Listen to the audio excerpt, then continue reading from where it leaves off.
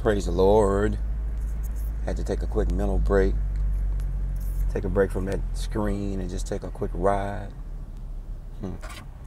It's one of them days, y'all. I'm fighting. Oof.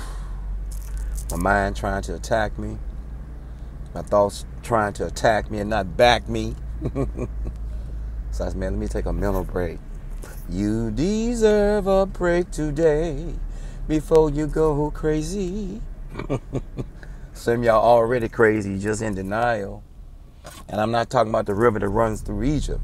A lot of people are in denial, drowning deep in their own mentality and selfishness and anger and foolishness. You know, one time our father, it only took one time.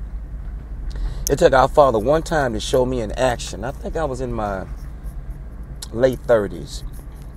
And he showed me myself in action. Lights, camera, God, our Father. He showed me myself in action for a whole day. Whew, I was so ashamed. I cried like a hungry baby. For real. I cried. To see myself in carnal action, inaction, overreaction, foolish actions, man, it was deep as I leave this alone. So that changed me the first time.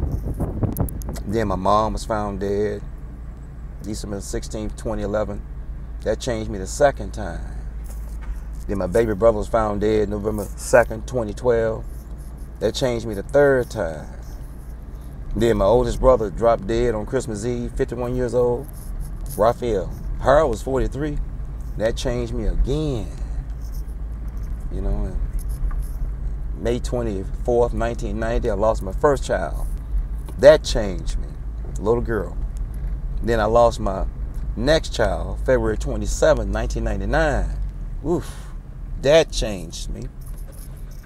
My grandfather killed himself on Father's Day, June 17, 1997. That changed me.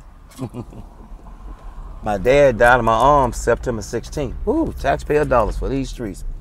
Uh, September 16, 2000. 63 years old, two days for his 64th birthday. That changed me. And here I am again. Still begging and praying for change, y'all. Hmm. As I leave this alone. So I thought I would take a quick mental break and ride. This is the back way back to the house.